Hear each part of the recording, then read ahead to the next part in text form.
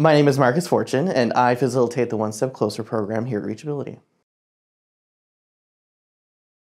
Time management is one of the days we facilitate here. Uh, I feel the clients get a lot out of it.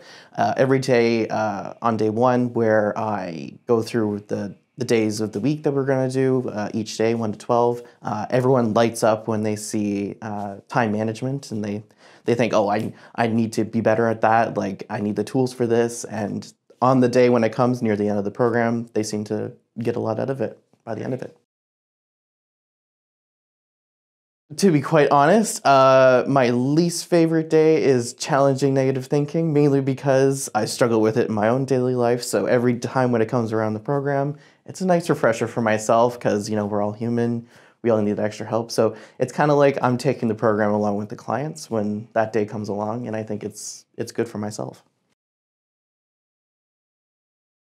Absolutely, and I do tell the clients that I, I'm very upfront and honest. I'm like I always tell clients I struggle with this myself, and I think that puts the clients at ease, and you know let lets them know you know everyone's got their own faults. My next group was starting next Monday, February thirteenth, two thousand twenty-three.